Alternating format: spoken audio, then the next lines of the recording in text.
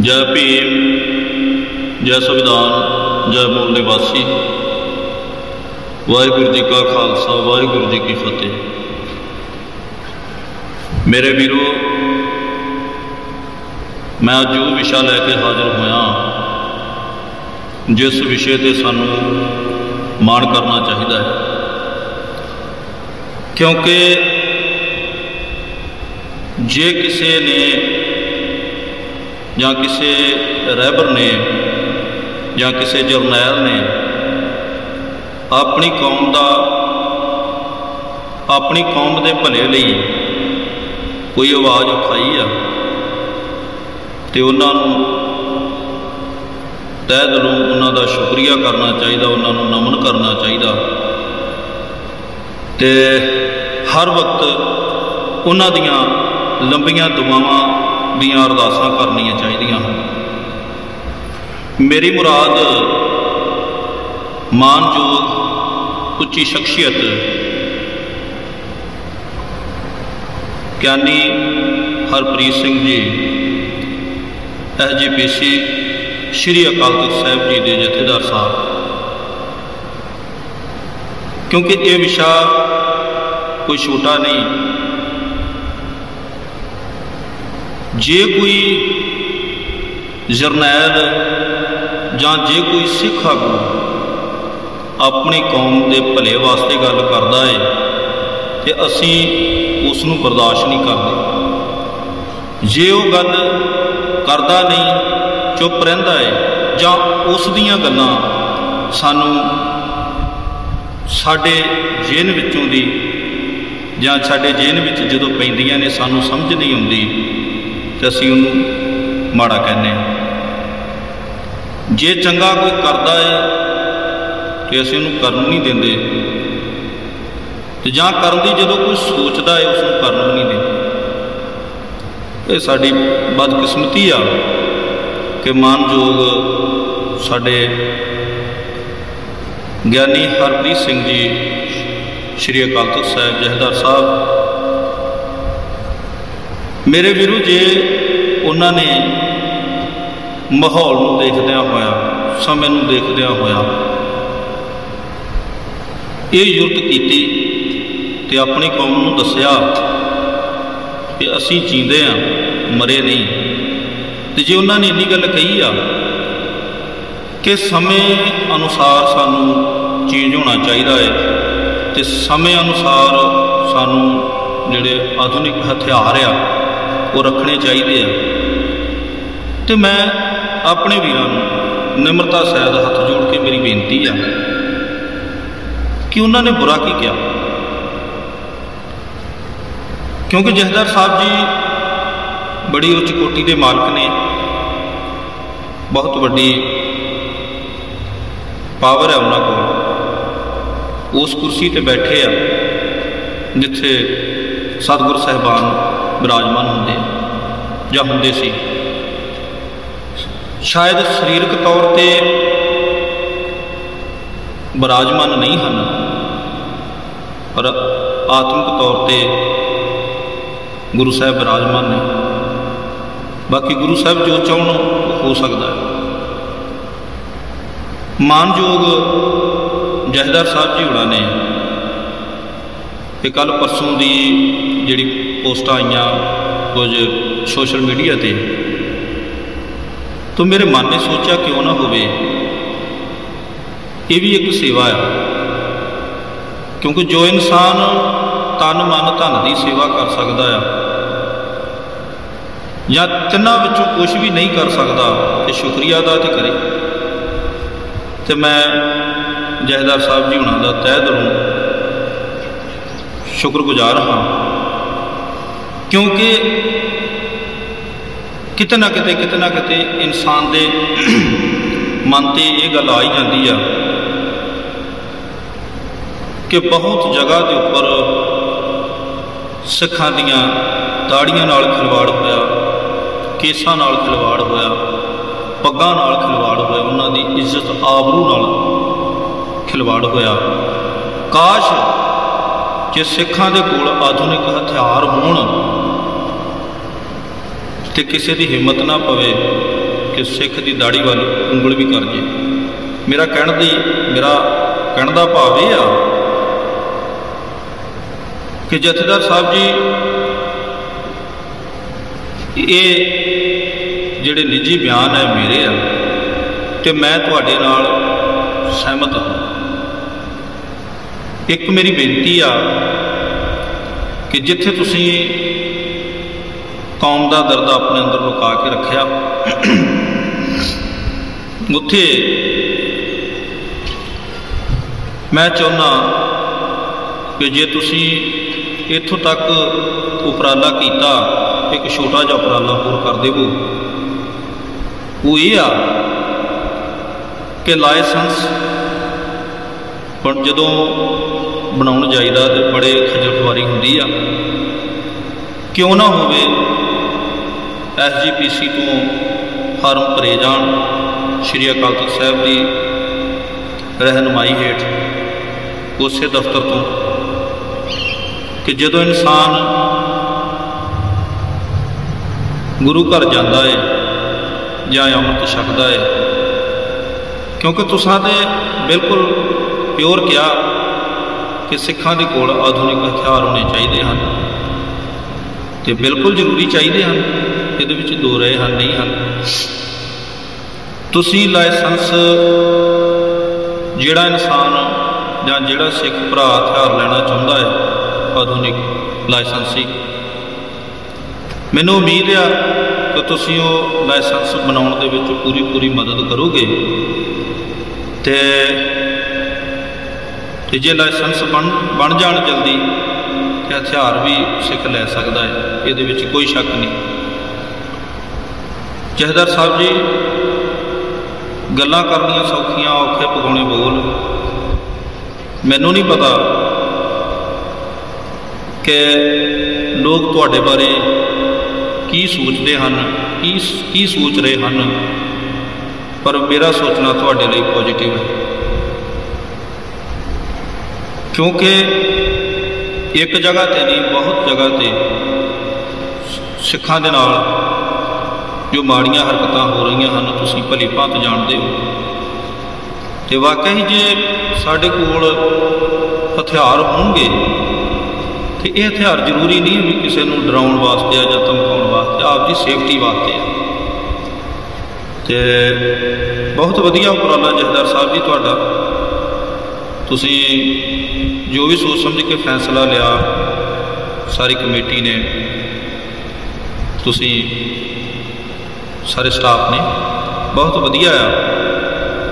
ਅਸੀਂ ਤੁਹਾਨੂੰ ਲੱਖ ਲੱਖ ਵਧਾਈਆਂ ਦਿੰਦੇ ਆ ਕਿ ਇਹੋ ਜਿਹੇ ਸਿੱਖ ਕੌਮ ਦੇ ਜਿਹੜੇ ਆਗੂ ਨੇ, ਉਹੀ ਫੈਸਲਾ ਲੈ ਸਕਦੇ ਨੇ, ਜਿਨ੍ਹਾਂ ਨੂੰ ਸਿੱਖ ਕੌਮ ਦਾ ਦਰਦ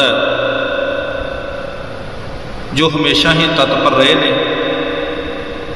ਮਾਨਯੋਗ ਜਹਦਾਰ ਗਿਆਨੀ ਹਰਪ੍ਰੀਤ ਸਿੰਘ ਜੀ, ਤੁਹਾਡਾ ਤਹਿ ਦਿਲੋਂ ਸ਼ੁਕਰਗੁਜ਼ਾਰ ਹੈ ਤੇ ਧੰਨਵਾਦੀ ਹਾਂ।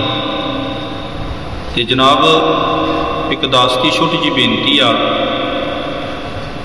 ਕਿਉਂਕਿ ਜਿੱਥੇ ਏਡਾ ਵੱਡਾ ਤੁਸੀਂ ਉਪਰਾਲਾ ਲਿਆ, ਜੋ ਬੜੀ ਮੁਸ਼ਕਲ ਵਾਲੀ ਗੱਲ ਹੈ। ਕਹਿਣਾ, ਪਰ ਤੁਸੀਂ ਇਤਿਹਾਸ ਦੇ ਪੰਨਿਆਂ ਦੇ ਵਿੱਚ ਇਹ ਬੋਲ ਤੁਹਾਡੇ ਦਰਜ ਹੋ ਜਾਣੇ ਆ ਕਿ ਕੋਈ ਸਦਾ ਵਾਸਤੇ ਕਿ ਸ਼੍ਰੀ ਅਕਾਲ ਤਖਤ ਸਾਹਿਬ ਤੋਂ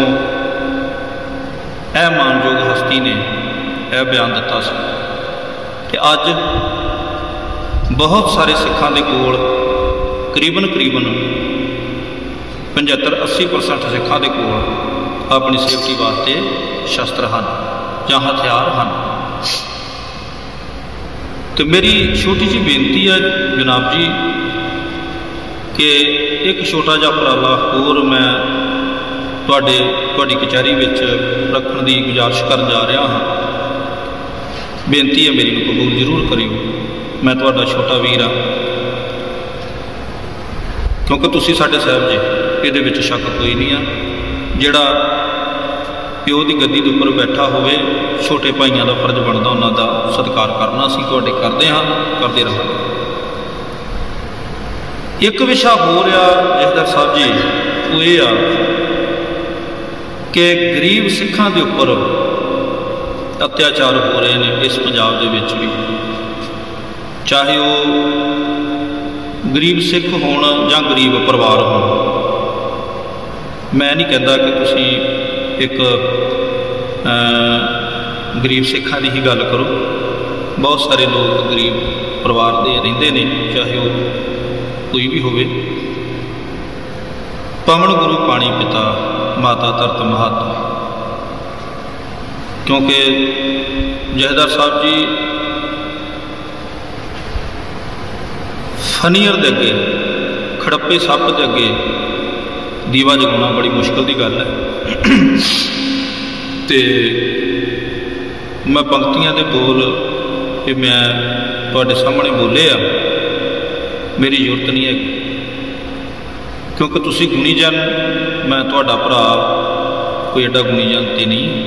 ਪਰ ਫਿਰ ਵੀ ਜਿਸ ਤਰ੍ਹਾਂ ਪੈਲੀਆਂ ਨੂੰ ਅੱਗ ਲੱਗ ਰਹੀ ਆ, ਸਾਡਾ ਪਾਣੀ ਗੰਦਲਾ ਹੋ ਰਿਹਾ ਹੈ ਹਵਾ ਗੰਦਲੀ ਹੋ ਰਹੀ ਹੈ ਮਿੱਤਰ ਕੀੜੇ, ਪਸ਼ੂ, ਪੰਛੀ ਮਰ ਰਹੇ ਨੇ। ਇਸ ਉੱਪਰ ਵੀ ਜਹਦਾਰ ਸਾਹਿਬ ਜੀ, ਮੇਰੀ ਮੁਰਾਦ ਇਹ ਆ, ਮੇਰੇ ਮਨ ਦੀ ਤਮੰਨਾ ਹੈ ਇਹਦੇ ਉੱਪਰ ਵੀ ਤੁਸੀਂ ਜ਼ਰੂਰ ਬੋਲੋ ਕਿ ਸਾਨੂੰ ਜਿਹੜਾ ਪਾਣੀ ਬਚਾਉਣਾ ਚਾਹੀਦਾ ਆ, ਹਵਾ ਬਚਾਉਣੀ ਚਾਹੀਦੀ ਆ। ਤੇ ਵਾਤਾਵਰਣ ਨੂੰ, ਸਵੱਛ ਬਣਾਉਣ ਵਾਸਤੇ ਹਰ ਉਪਰਾਲਾ ਸਾਨੂੰ ਬਣਾਉਣਾ ਚਾਹੀਦਾ ਆ। ਤੇ ਜਿਹੜੀਆਂ ਖੇਤੀਆਂ ਸਾਡੇ ਵਾਤਾਵਰਣ ਨੂੰ ਖਰਾਬ ਕਰਦੀਆਂ ਹਨ, ਜਾਂ ਜਿਹੜੀਆਂ ਜਿਹੜੀਆਂ ਖੇਤੀਆਂ ਸਾਡੇ ਪਾਣੀ ਨੂੰ ਖਰਾਬ ਕਰਦੀਆਂ ਹਨ, ਅਸੀਂ ਚਾਹੁੰਦੇ ਹਾਂ ਕਿ ਉਹ ਖੇਤੀਆਂ ਨੂੰ ਬੰਦ ਹੀ ਕਰ ਦਿੱਤਾ ਜਾਵੇ। ਕਿਉਂਕਿ ਕਿਉਂਕਿ ਜੇ ਵਾਤਾਵਰਣ ਹੀ ਨਾ ਰਿਹਾ, ਤੇ ਫਿਰ ਜਹਦਾਰ ਸਾਹਿਬ ਜੀ, ਆਪਾਂ ਕਿੱਧਰ ਨੂੰ ਜਾਵਾਂਗੇ? ਸਭ ਤੋਂ ਪਹਿਲਾਂ ਗੁਰੂ ਮਹਾਰਾਜ ਜੀ ਨੇ ਹਵਾ ਪਾਣੀ ਦੀ ਗੱਲ ਕੀਤੀ ਹੈ ਵਾਤਾਵਰਣ ਦੀ ਗੱਲ ਕੀਤੀ ਹੈ, ਕਾਇਨਾਤ ਦੀ ਗੱਲ ਕੀਤੀ ਹੈ। ਉਸ ਤੋਂ ਬਾਅਦ ਮੇਰੀ ਮੁਰਾਦ ਹੈ ਕਿ ਜਿਸ ਤਰ੍ਹਾਂ ਕਈ ਗਰੀਬ ਲੋਕ ਮਰ ਜਾਂਦੇ ਆ, ਜਿਵੇਂ ਪਿੰਡ ਸੁੰਡਰਾ, ਡੇਰਾ ਬਸੀ ਵਿਧਾਨ ਸਭਾ ਹਲਕਾ 40 45 ਜਿਹੜੇ ਘਰ ਉੱਥੇ ਸੜੇ ਨੇ। ਉਹਨਾਂ ਵਿਚਾਰਿਆਂ ਨੂੰ ਵੀ ਤੁਹਾਡੀ ਲੋੜ ਸਰ, ਜੇ ਮੰਨ ਕੇ ਚੱਲੋਗੇ ਅੱਜ ਉਹ ਸਿੱਖ ਨਹੀਂ ਹਨ। ਹੋ ਸਕਦਾ ਤੁਹਾਡੇ ਆਸ਼ੀਰਵਾਦ ਸਦਕਾ, ਤੁਹਾਡੇ ਪਿਆਰ ਨਾਲ ਉਹ ਲੋਕ ਸਿੱਖ ਧਰਮ ਨੂੰ ਅਪਣਾ ਲੈਣ। ਇੱਕ ਤੇ ਇਹ ਵਿਸ਼ੇ ਤੇ ਸਰ ਜੀ, ਮੈਂ ਚਾਹੁੰਦਾ ਜਹਦਾਰ ਸਾਹਿਬ ਜੀ, ਤੁਸੀਂ ਬੋਲੋ। ਕਿਉਂਕਿ ਵੱਡੇ ਜੀ, ਆਪਾਂ ਛੋਟੇ ਆ ਤੇ ਛੋਟੇ ਵੀਰ ਜਿਹੜੇ ਹੁੰਦੇ ਆ ਨਾ, ਉਹ ਵੱਡਿਆਂ ਨੂੰ ਮਨਾਉਂਦੇ ਆ। ਖੈਰ, ਜਿਸ ਤਰ੍ਹਾਂ 30 35 ਬੱਚੇ ਪਿੰਡ ਬਿਜਲੀਵਾਲ, ਬਟਾਲਾ, ਗੁਰਦਾਸਪੁਰ ਜ਼ਿਲ੍ਹੇ ਦੀ ਗੱਲ ਹੈ। ਬੱਸ ਵਿੱਚ ਜੋ ਡਰਾਈਵਰ ਜਗਪ੍ਰੀਤ ਸਿੰਘ ਕੋਸ਼ਿਸ਼ ਨਾ ਕਰਦਾ ਕਿ ਜਹਦਰ ਸਾਹਿਬ ਜੀ ਹੋ ਸਕਦਾ ਕਿ 35 ਬੱਚੇ ਬੱਸ ਵਿੱਚ ਪੁੱਜ ਜਾਂਦੇ। ਫਿਰ ਭਾਵੇਂ ਜੋ ਮਰਜ਼ੀ ਹੁੰਦਾ, ਚਾਹੇ ਉਹਨੂੰ ਫਾਂਸੀ ਮਿਲਦੀ, ਚਾਹੇ ਉਮਰ ਕੈਦ, ਪਰ ਬੱਚੇ ਵਾਪਸ ਤੇ ਆਉਣੀ ਨਹੀਂ ਸੀ। ਉਹਨਾਂ ਉੱਪਰ ਵੀ ਤਸ਼ੱਦਦ ਹੋਇਆ। ਉਹਨਾਂ ਦੇ ਪਿਤਾ ਜੀ, ਉਹਨਾਂ ਦੇ ਭਰਾ ਵੀ ਪਾਠੀ ਸਿੰਘ ਨੇ। ਸਰਦਾਰ ਬਲਵਿੰਦਰ ਸਿੰਘ ਜੀ ਔਰ ਉਹਨਾਂ ਦੇ ਬੇਟੇ ਦਾ ਨਾਮ ਖੈਰ ਮੈਂ ਮੇਰੇ ਦਿਮਾਗ ਚੋਂ ਨਿਕਲ ਚੁੱਕਾ। ਲਵਪ੍ਰੀਤ ਸਿੰਘ ਜੀ ਲੱਗਦੇ ਹਾਂਜੀ। ਉੱਥੇ ਵੀ ਗਰੀਬ ਸਿੱਖਾਂ ਨਾਲ ਅਤਿਆਚਾਰ ਹੋਇਆ। ਔਰ ਇੱਕ ਹੋਰ ਹੈ ਜਗ੍ਹਾ ਪਿੰਡ ਲਿੱਦੜਾ। ਮਜੀਠੇ ਲਾਗੇ ਆ ਜੀ ਕੋਟਲਾ ਸੁਲਤਾਨ ਸਿੰਘ। ਉੱਥੇ ਵੀ ਬੇਸ਼ੱਕ ਜੇ ਉਸਾਇਤਾਰੀ ਸਿੱਖ ਨੇ ਤੇ ਇੱਕ ਹੰਕੜਬਾਜ਼ ਜ਼ਿਮੀਦਾਰ ਨੇ, ਉਹਨੂੰ ਕੁੱਟਿਆ ਹੀ ਨਹੀਂ, ਮਾਰਿਆ ਹੀ ਨਹੀਂ ਜਨਾਬ। ਇੱਥੋਂ ਤੱਕ ਉਹਨੂੰ ਦਰਖਤ ਨਾਲ ਬੰਨ ਕੇ ਪੁੱਠਾ ਲਟ ਬੰਨ ਕੇ ਪੁੱਠਾ ਲਟਕਾਇਆ। ਅਸੀਂ ਚਾਹੁੰਦੇ ਆ ਕਿ ਤੁਸੀਂ ਜਿੱਥੇ ਇੱਕ ਸਿੱਖ ਕੌਮ ਨੂੰ ਲੀਡ ਕਰ ਰਹੇ ਹੋ, ਜਨਾਬ ਜੀ, ਉੱਥੇ ਤੁਹਾਡੇ ਸਾਹਮਣੇ ਬਹੁਤ ਸਾਰੀਆਂ ਹੋਰ ਵੀ ਮੁਸ਼ਕਲਾਂ ਹਨ, ਬਹੁਤ ਸਾਰੇ ਹੋਰ ਵੀ ਕਾਰਜ ਹਨ, ਜਿਨ੍ਹਾਂ ਵਿੱਚ ਇੱਕ ਮੇਨ ਕਾਰਜ ਇਹ ਆ ਕਿ ਜਦੋਂ ਕਿਸੇ ਗਰੀਬ ਦੇ ਉੱਪਰ ਅਤਿਆਚਾਰ ਹੁੰਦਾ ਹੈ ਤੇ ਗਰੀਬ ਸਿੱਖ ਵੀ ਤੁਹਾਡੇ ਮੁੱਖ ਵੱਲ ਦੇਖਦੇ ਹਨ ਕਿ ਸ਼੍ਰੀ ਅਕਾਲ ਤਖਤ ਸਾਹਿਬ ਤੋਂ ਉਹਨਾਂ ਦੇ ਹੱਕ ਵਿੱਚ ਕੀ ਫੈਸਲਾ ਆਵੇਗਾ।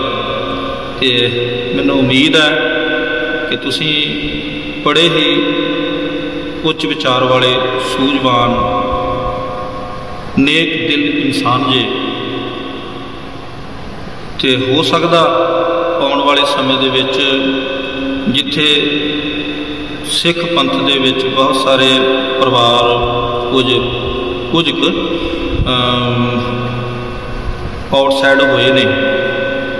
ਜੇ ਤੁਹਾਡਾ ਪਿਆਰ ਉਹਨਾਂ ਨੂੰ ਮਿਲੇ, ਤੁਹਾਡੇ ਵੱਲੋਂ ਮਾਣ ਸਤਿਕਾਰ ਮਿਲੇ, ਤੇ ਉਮੀਦ ਹੈ ਕਿ ਉਹ ਲੋਕ ਜਿਹੜੇ ਆ ਨਾ ਭਟਕਣ, ਕਿਉਂਕਿ ਗਰੀਬ ਬੰਦਾ ਭਟਕਦਾ ਹੀ ਤਾਂ ਆ, ਜਹਦਰ ਸਾਹਿਬ ਜੀ, ਜਦੋਂ ਉਸ ਦੀ ਕੋਈ ਸੁਣਦਾ ਨਹੀਂ।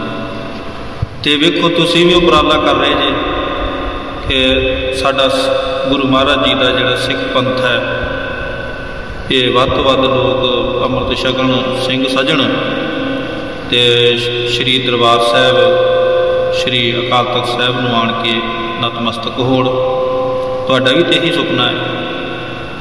ਤੇ ਜਹਦਰ ਸਾਹਿਬ ਜੀ, ਅਸੀਂ ਵੀ ਇਹੋ ਚਾਹੁੰਦੇ ਆ ਕਿ ਜੇ ਗਰੀਬ ਲੋਕਾਂ ਨੂੰ ਤੁਸੀਂ ਆਪਣੇ ਗੱਲ ਨਾਲ ਲਾਓਗੇ ਕਿਉਂਕਿ ਜਿਹੜੀਆਂ ਪੁਰਾਣੀਆਂ ਗੱਲਾਂ ਹੋ ਗਈਆਂ, ਉਹ ਹੋ ਗਈਆਂ। ਪਰ ਜੇ ਤੁਸੀਂ ਵੀ ਆਪਣੀ ਤਰਫੋਂ ਪਿਆਰ, ਸਤਿਕਾਰ, ਮਾਣ ਇਹਨਾਂ ਗਰੀਬਾਂ ਦੀ ਤੁਸੀਂ ਸੁਣੋ, ਨਿਰਪੱਖ ਹੋ ਕੇ ਤੇ ਉਹ ਦਿਨ ਦੂਰ ਨਹੀਂ ਆ ਕਿ ਜਿਹੜੇ ਲੋਕ ਸਿੱਖ ਪੰਥ ਤੋਂ ਸਾਈਡ ਗਏ ਨੇ।